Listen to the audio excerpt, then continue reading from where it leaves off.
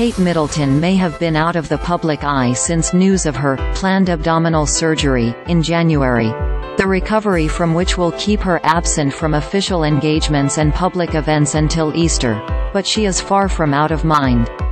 A palace aide provided a brief update on how the Princess of Wales is doing when asked at an event at Windsor Castle Tuesday, saying, The Princess of Wales continues to be doing well.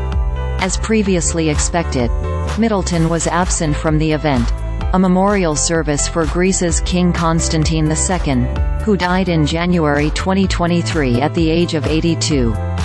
An unexpected absence, however, surfaced at the last minute. Middleton's husband, Prince William. William had been scheduled to deliver a reading at the memorial service, as Constantine was his godfather and a close friend of his father, King Charles III.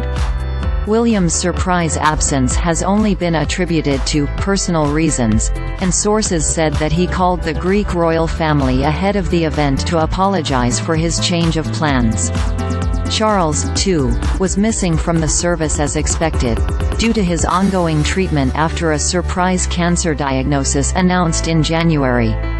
The monarch is officially back at work, but his public schedule remains up in the air pending treatment and his medical team's advice.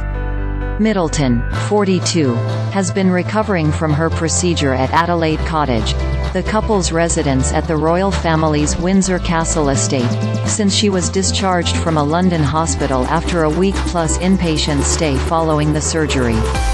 The palace has not disclosed more specific information about what her procedure was, or any conditions that necessitated it, apart from the nature of it being non-cancerous. It is unknown whether William's absence from Tuesday's memorial service was related to the ongoing health issues of his wife or father.